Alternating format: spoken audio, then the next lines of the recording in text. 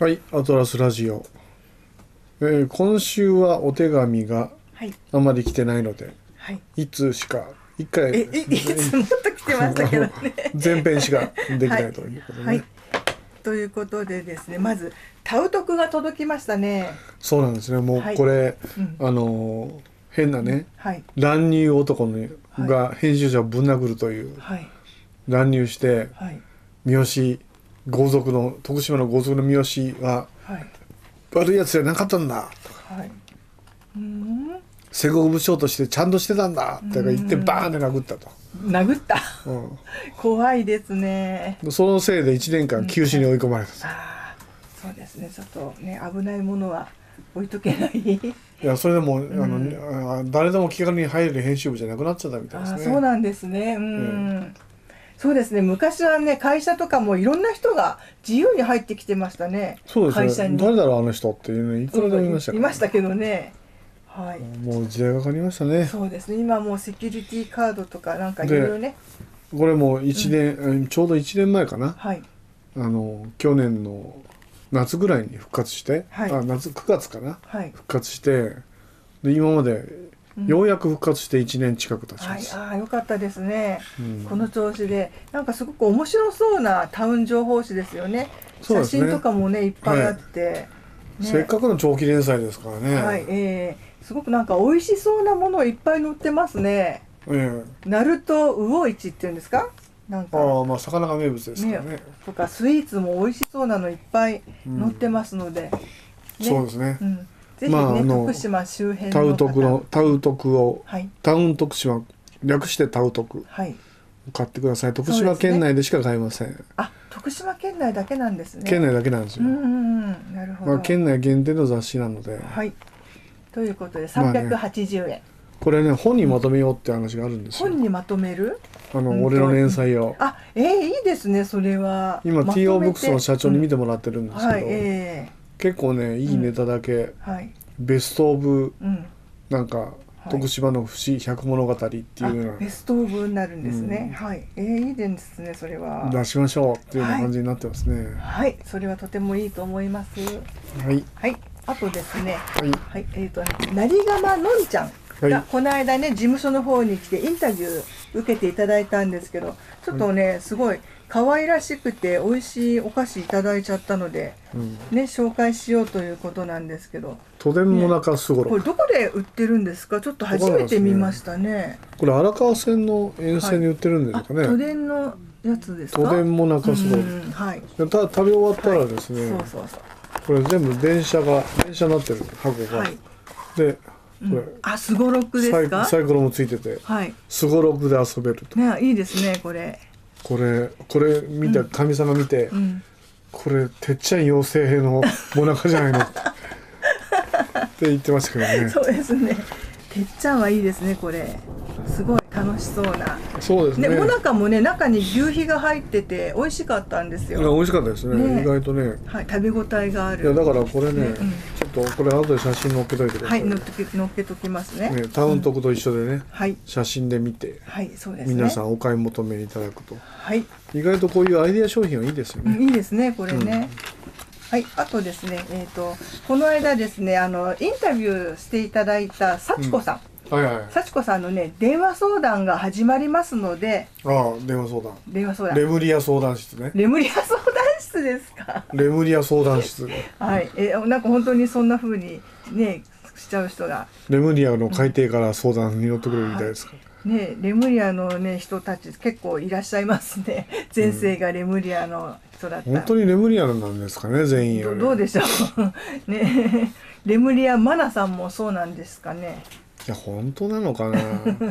なんかあの、ん。本当はなんかなんか浅草かどっかでなんか、ん。ハマグリとか売ってたおじさんじゃないですか？なんで浅草になっちゃ天うんですか？秤棒担いで。はい。なんか江戸時代に、わからないですけどね、うん。はい、えーとね、お仕事関係、人間関係、家族関係、人生相談、お悩み相談、健康相談、障害児養育相談、障害児のママの心の休憩所、あさまざまな。そういうの得意なんですよね。そうみたいですね。あのね、うん。ご自身とかいろいろされてたみたいでね。はい。さまざまなお悩みが原因でモヤモヤしているあなたに、うん。お悩みに対してオラクルカードを使用し高次元エナジーリーディングします。うん。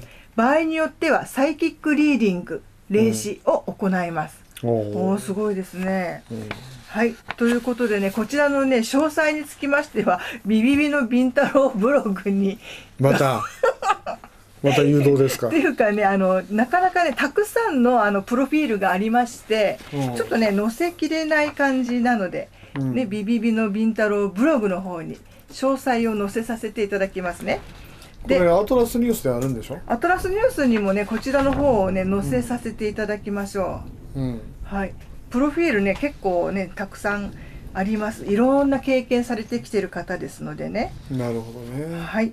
でね、うん、あとですね、お客様へのね、お願いとかもいろいろありますのでね、あの、できない鑑定とかね。うん。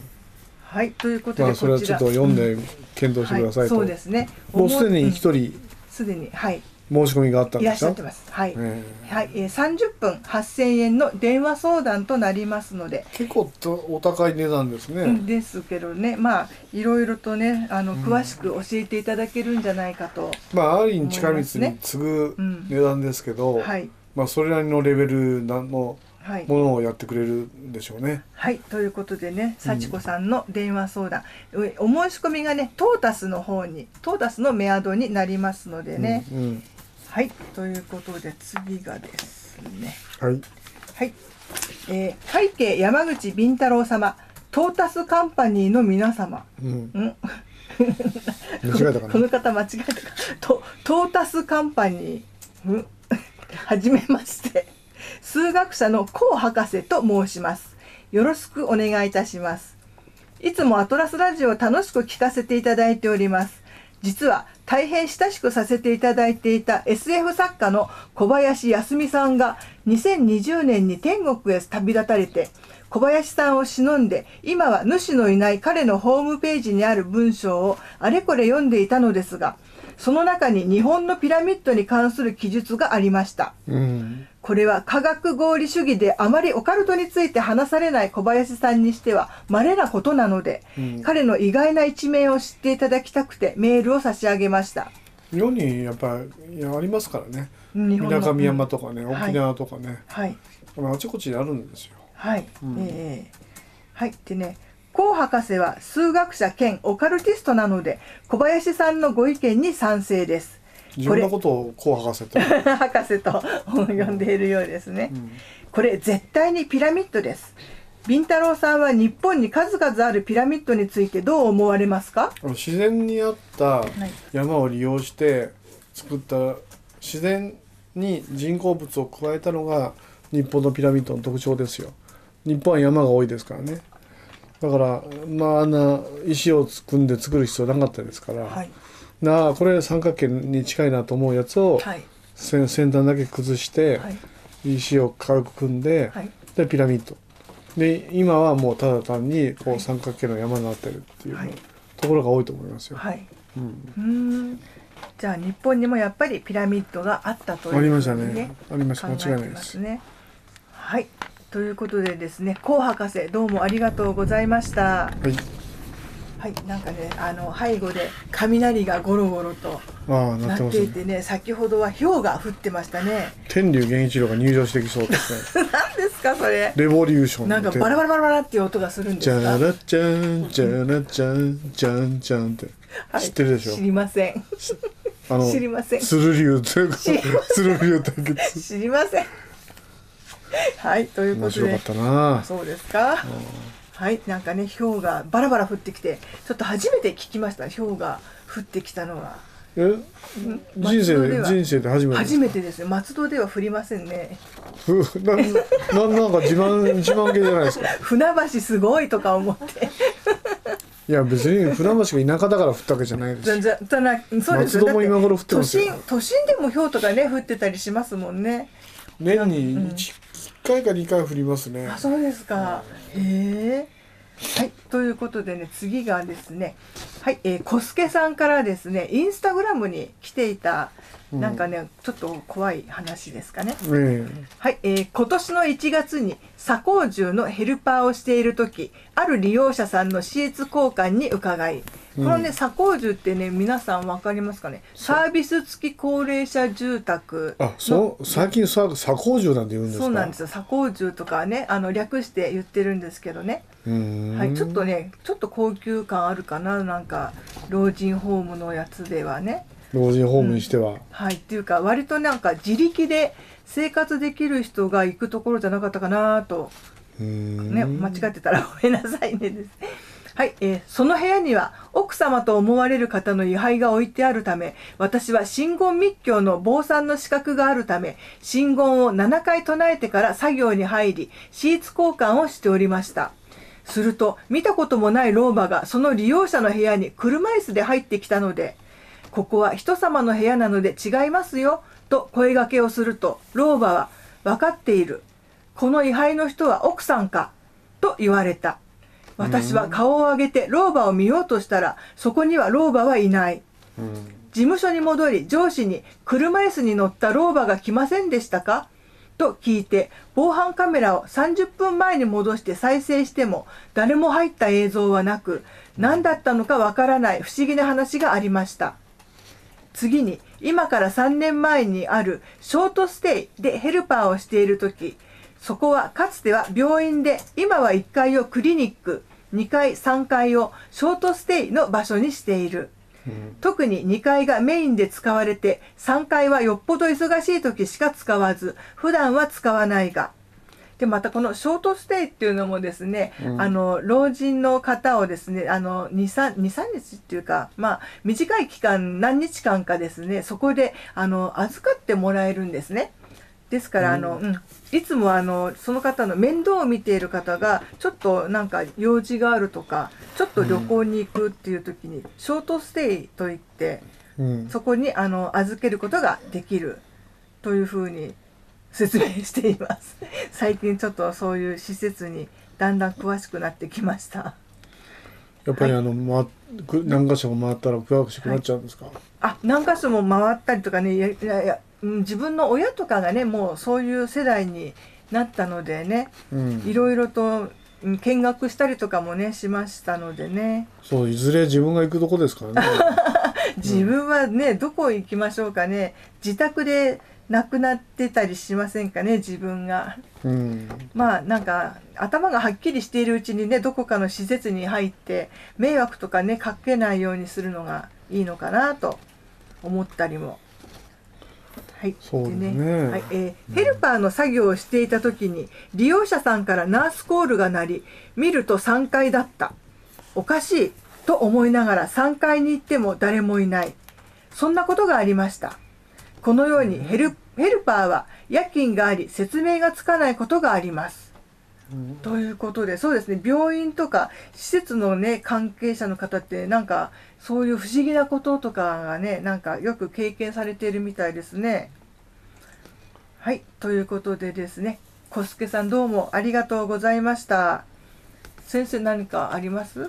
そうですね、はい。なんかあの老人ホームってこれからうん、大切になってくると思うんですけど、はい。老人が増えてきてもっと変えなきゃダメですね。あの幼稚園児と一緒にするとかあるじゃないとああそうですね。なんかね、うんなんかあのちょっとはい老人ばっかりでは陰気になりますから、はいやっぱり明るい幼稚園児と一緒に暮らしたら、はいおじいちゃんおばあちゃんも元気になりますしね。ああそうですねじゃあ保育園とか幼稚園とかも併設されてる方が、ええうん、そうですね。あの最近の老人ホーム結構ね明るい雰囲気になってるんですよ。あそうですか。はい。うんだから私のね祖母とかが入ってた頃とはねもう全然感じが変わりましたね。昔はなんか牢獄みたいな感じでした牢もんね。獄みたい。なんかね。はい。ああとこれ、はいあのこれまだなんかメールが入ってます。メール？はいえっ、とねこっちの右側でよろしいですかね。はい。はい、えーお世話になっております。ビン太郎さんはじめとする皆様のおかげで CF350 万円は達成し成功いたしました。クラウドファンディングやってたんですよ。あ、そうなんだ。で CF これ、で、うんあの、はいと金長さんの、はい。ああ、の組織です。組織から連絡があったんです。なるほど。ククラウドファンディング成はい功という、成功したんですね。うんビンタロウさんのお力添えあってのことです。心よりお礼申し上げます。引き続き修復費用1400万円捻出のために CF クラウドファンディングは続けてまいります。どうぞ引き続きの応援ご支援をよろしくお願いいたします。いや1400万円は高いはあな、高いですね。うん。うんはい、まずは CF 成功のお礼をお伝えさせていただきました。6月5日は楽しみにしております。よろしくお願いいたします。ということで6月5日ね。来てくださるんですかね？違いますよ。あの、はい。あそこに行くんですよ。あ行くんですね。取材に、うんうんうん。金町神社に。はい。今回のよ徳徳島妖怪ツアーすごいですよ。はい。おっぱしょいし天が出た、うん。えー神社。はい。それからのっぺらぼうが出た墓石、はい。えーそれから化け猫が化け猫が封印されてる神社、はい。結構行くでしょすごいですね。うん。うんいやなんでまあかワクワクしますね。妖怪スポット。トいくつもあるんですよ、はい。へえ。これ面白い面白そうですね。で一番の、えーいいところは、はい阿波狸合戦のはい古戦場跡と、はいであの金長たぬきの祠に行くんです、はいでいあの今こんな風になってるねってみんみんなで見ながらはい。でアーリーさんに霊視してもらううと、んはい。いいですね。なんかあれと時間が合えばなんか野獣まで行きたかった感じですね。そうでしょうね、はい。まあねできればね俺ねなんか日本一低い山がある日本一低い山？はい。うんえなんかいろいろと聞きますよね。日本一低い山はうんうんはい山口の名前が名名字が生まれたはい。香川県のやつどこじゃないかなと思って言ったら、か？はい。だから徳島にもあるらしいんですよ、はい。え徳島にああるのが一番低いと、ー、はい。あとは人工的に作った低い山あるけど、はい。だから自然に生まれた山はい。が認定されてるのがうん。少ない、なんかあんまり低いと丘だか山だかよく分かんなくなっちゃいませんか？そうなるとね国土地理院が認めない場合もあるんですよ、ああそうなんですね。だから山っていう概念は、うん。国土地理院が認めて初めて山が成立しますんで、うんはい。だからねどうなんでしょね。そううですね。その中で一番低い山というのが。だからねあの天保山とかね、はい。あの関西にありますけど、はい。あの東北にもね日和山っていうのがあって、はい。これは人工的に作られた山なんですよ。はい。だからこれは1位2位なんですけど、うん。で3位が徳島のそのやあの地蔵地地蔵橋の近くのはい。山らしいんですけどね、はい。ちょっとそこもね時間があればちょっと、アーリン・ネイヤンと僕は見に行ってきますよ、はいええね。はい。アーリンさんパワーススポット好きだから。はい。その一番一番低い山でもなんかパワーがあるんですか？低いけど。多分うん。山だけど、はい。墓地じゃないのああそういうことですか。人が、うんご遺体が埋まってるんじゃないですかららちょっとちょっとそれは怖くなってしまいますね。うんいやだからでも、うんそれはでも2000年ぐらい経ってますけど、ねはい。あでもね霊視してもらうとわかりますよね。うそうですね、ん。で阿波狸合戦は、はい実はヤクザ同士の戦争をはい可愛らしく伝えるために、はいタヌキ同士が戦争をしたっていう話にはい。変わったんじゃないかとういう、ん。あのこの自説、はいばあちゃんから聞いた話をはい。ちょっとねアーリー姉やんに聞いてもね、あまたそうですね。霊視もらおうしていただいてね。えはい。いやもう忙しいですよ。そうですね。楽しみですね。もうね、ねほん。とお天気に恵まれることを。そうですね。前田明さんとの対談もはい。やりたいんですけど、はい。あのね手を挙げてくる出版社がはい。まだ出てきてないんですから、はい。ねどっか出てきてほしいですね、はい瞑想出版手挙げないかなと思ってますけどね。誘ってますねはい。うんははい。い、ということでですね次がですね。はい。はい、えー、ビンタロウ先生ほかタートルカンパニーの皆様毎日のアップロードお疲れ様です。うん。さぬきの百鬼丸こと白子です。はいはい、以前の投稿の際私の口内の歯の心配をアイム様にしていただいたのでまずは現状をお知らせしておきますと、うん。現在歯は1本のみ生き残っております、うん。ですので差し歯とかブリッジとかはもはや不可能で上は完全に入れ歯。下も残った歯に差し込む形で他は入れ歯になっております。えー、アトラスラジオでお知らせする内容ではありませんが少し触れさせていただきましたすみません。ということで私これ、ね、個人的にねなんか白子さんが不思議なことに遭遇すると歯が一本ずつ抜けていくっていう話を聞いて、うんいや歯残ってるのかなって 思いましたので、ね、白子さんどうもありがとうございます。んなんか納得しました。そういう感じになってるんですね。でもあの話だとうん、食べれるグルメがあんまりないですね。だだからね刺し歯とか入れ歯とかでなんとかね食べていらっしゃこのるんじゃ。前話のグルメってやってましたよ。話のグルメ？うん。何ですか？歯歯がないあ人が歯がない人のグルメ？もう食べて美味しいという。それはなんかめちゃめちゃ柔らかい食べ物ですか？そうそれは結構柔らかいんですよプ。リンとかゼリーとかなら食べられそうですねお肉なんだけどお肉？もつ焼きではい柔らかいとかね。もつはもつはいっぱい噛まないとダメな気がしまそうしたそうでしょ、はいそれがふわっと溶けるらしい。えー、すごいもつですね、うんいや美味しそうですねそれ話のグルメってなかなか、なかなかあの孤独のグルメをパロディにしたやつですよ。えーもうよくやったなと思って。そうですね。じゃあ先生がお年を召した後それが 利用されればと。なんでですか？先生だけじゃないです。僕は歯がありますよ。丈夫なんですね。僕は歯丈夫な方です。よかったです。はいということでね、えー今回の投稿は長年脳裏に焼き付いたまま忘れられない恐怖体験なのですがなぜかその体験した場所もその時に一緒にいた人間の顔も記憶の中から削除されていてまるで夢での出来事のようで現実に見たのかどうか自信が持てませんでしたので誰にも語らず投稿も控えていましたが最近になってさまざまな舞台関係の会社の方に昔広島県のホールにこんな張り紙をしているホールがあったのを知らないかと尋ねたところほとんどの方が「ああ聞いたことがある」とか「どこのホールの話だったかな」などと不明瞭な返答を返してきます。ただ私が体験したと記憶している映像は少なくても私だけが見た夢ではないのではと思え今回投稿させていただくことにしました。中国地方では以前は結構有名な話だったはずなのでもしアトラスラジオのリスナーの方で詳細をご存知な方がいらしたらぜひに教えていただきたいです。うん。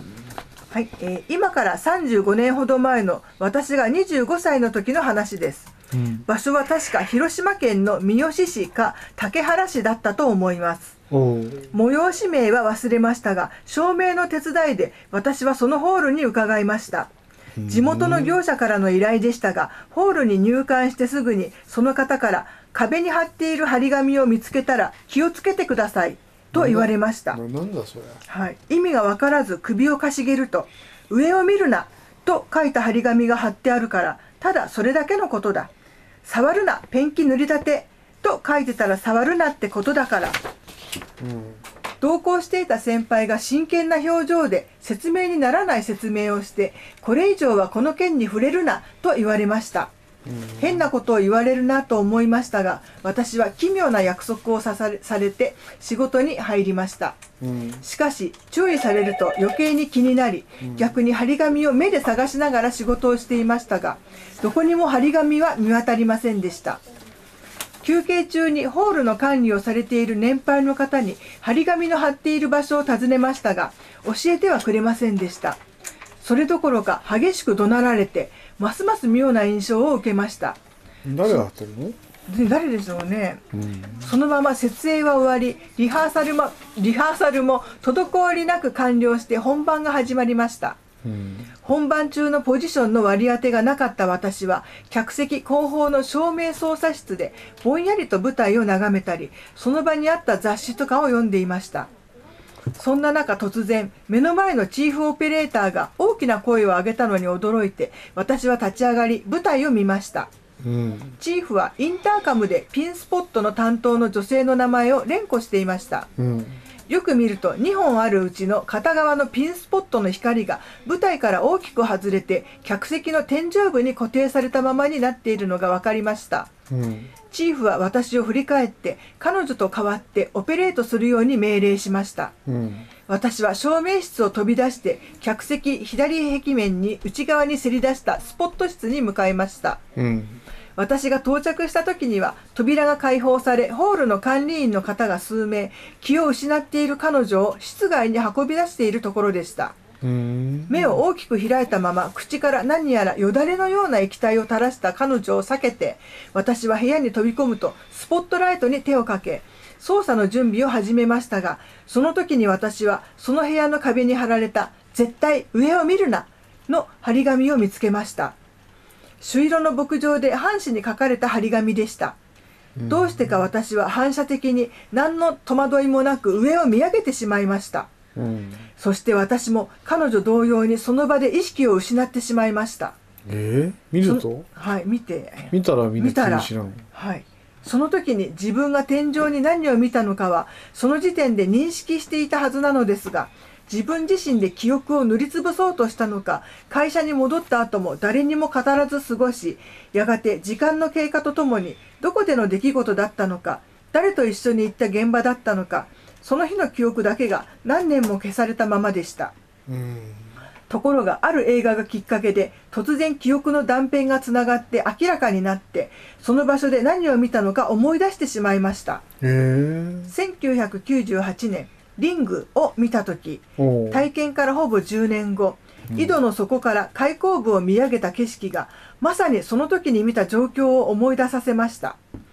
低かったはずのスポット室の天井が闇に飲まれて天に向かって伸びていて貞子の眼球そっくりの片目がその中心で私を見見下ろしていました眼球から生えたような黒髪に見えるもや状のものが大量のミミズのようにうごめきのたうっていました。その不気味な眼球を思い出したのをきっかけに徐々に投稿したそのホールでの出来事も思い出しました。うん。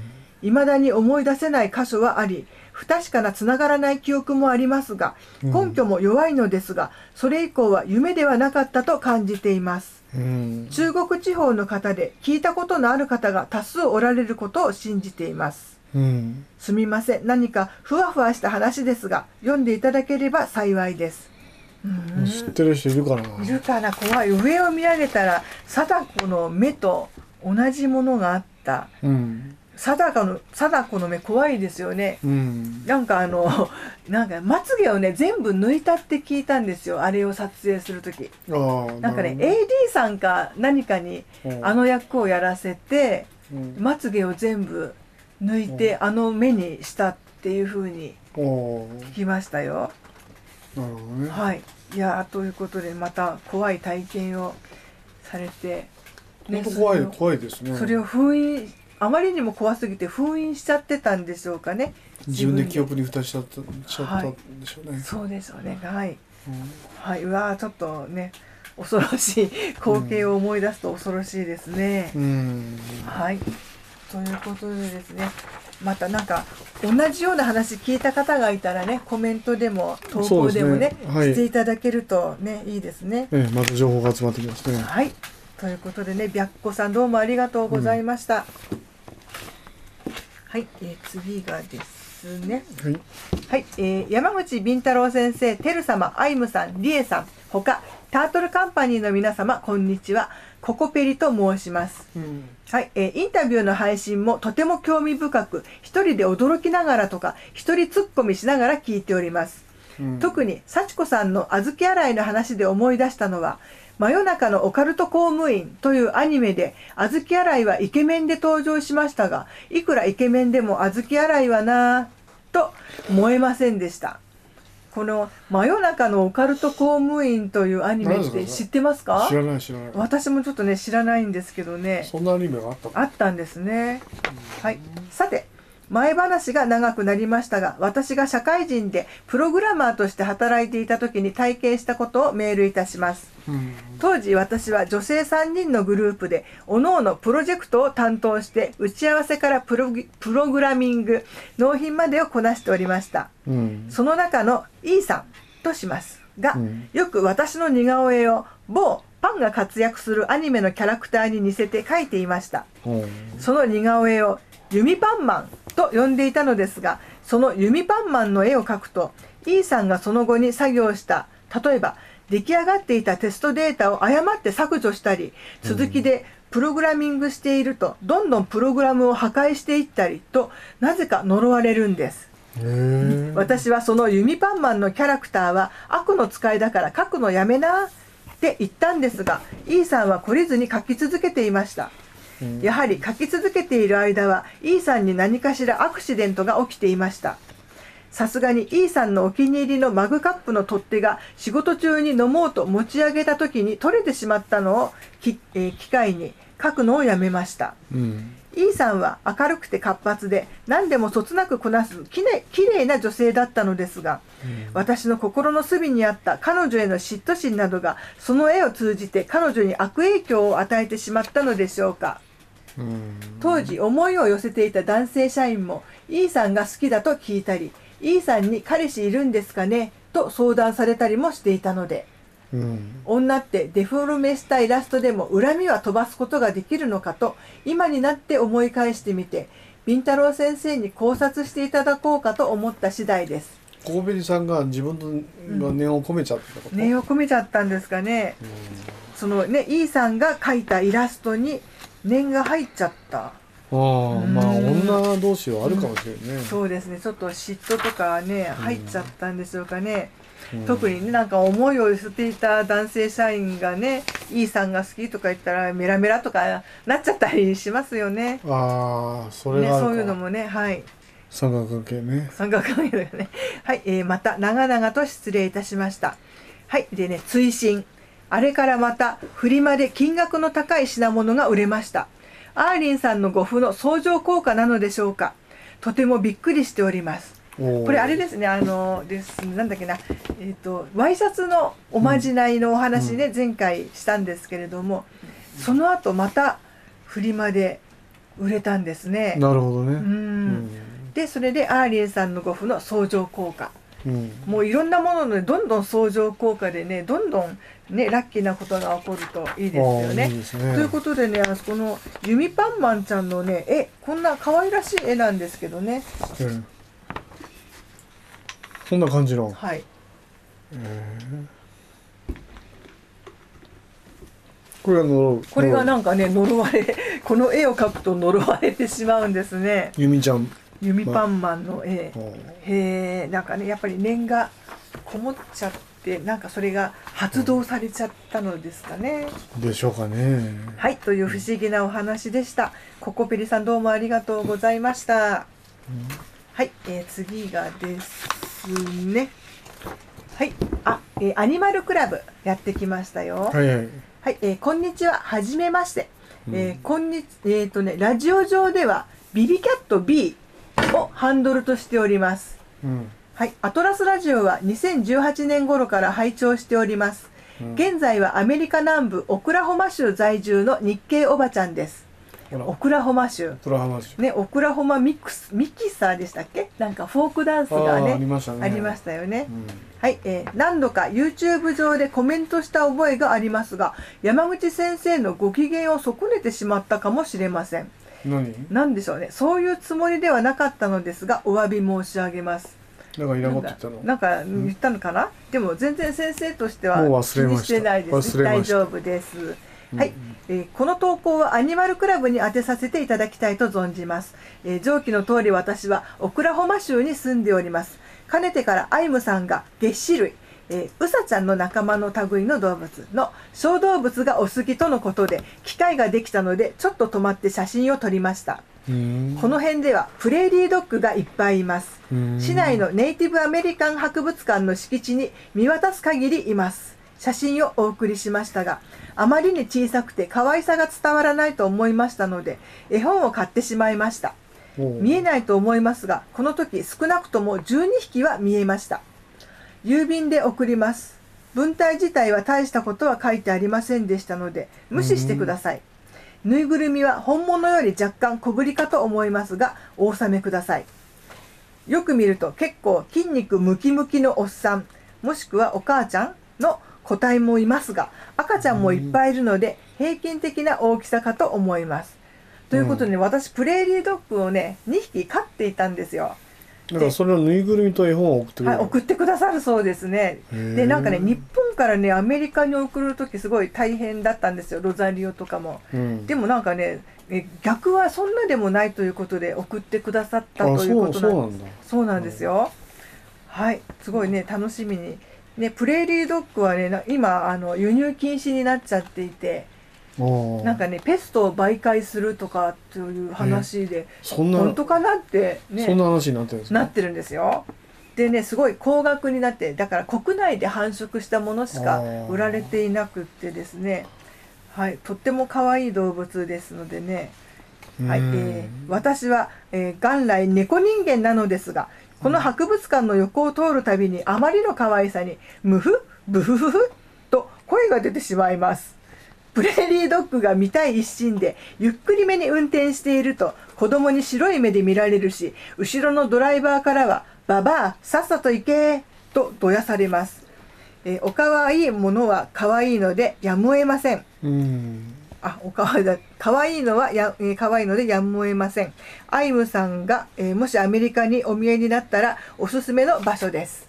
うんということですのでね、写真がついててですね、ちょっとね、写真自体、なんかね、小さめにしか写ってないんですけど、拡大した写真もありますので、どこにここに、そうなんですよ。ちょっとね、小さくね、小さくね、ちょこちょことね、いるんですよ。こう、穴、穴ぼこのね、上とかにね、そうなんです。で、あの、こういう感じでね、あこれはわかんないじゃん ちょっとねあの写真だと小さくてこれねこのはい。公園にぐちゃぐちゃいるわけですか。いるんですよ。ちょうどこのね穴を掘ったみたいなところとかねうん。穴を掘ってね中で暮らしている動物なんですよ。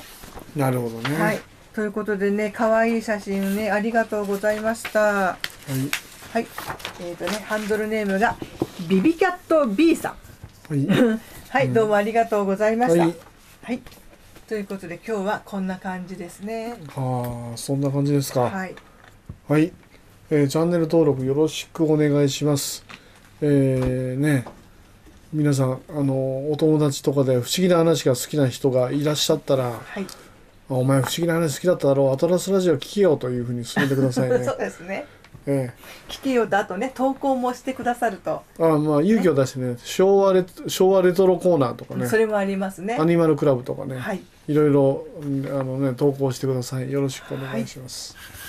えそれから、えーサイバーアトランティア、まあ、有料ですけども800円、まあ、それなりの情報のレベルは誇っておりますので皆さんぜひよろしくお願いします。そして、えーサイバーサイバーアトランティアとは別にアトラスニュースこちらは無料になっております。アトラスニュース、ユーマ、UFO、都市伝説、陰謀論、妖怪などなどまあ怪しい情報を毎月毎日に78件載っけておりますのでぜひお読みいただければと思っております。ということで皆さん次回も不思議の世界であなたとランデブー。オカルトはエンタメだ。エンターテインメントはオカルティズムだ。山口敏太郎でした。それでは皆さんさようなら。はい、さようなら。はいはい